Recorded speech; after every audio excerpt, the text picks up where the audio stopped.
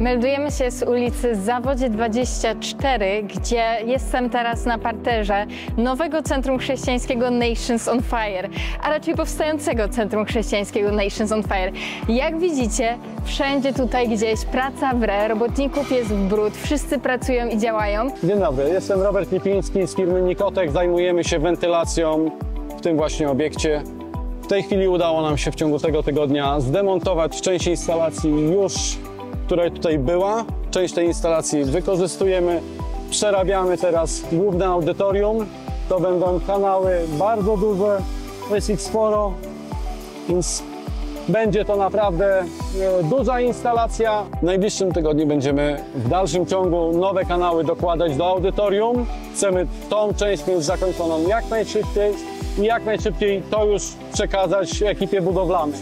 Później będziemy poszczególne pomieszczenia realizować po kolei, już idąc kanałami nowymi według projektu technicznego. Jak możecie spojrzeć tutaj na ziemi, coś się zadziało od naszej ostatniej wizyty. Ja właśnie w tym momencie przeszłam przez ścianę. Ścianę, której jeszcze nie widać, ale już za chwilę, właśnie w tych miejscach, gdzie widzicie tutaj te profile, będą powstawały ściany, które będą oddzielały e, kolejne pomieszczenia. Co w tych pomieszczeniach będzie? No, o tym już w kolejnych raportach powiemy trochę bardziej, trochę więcej.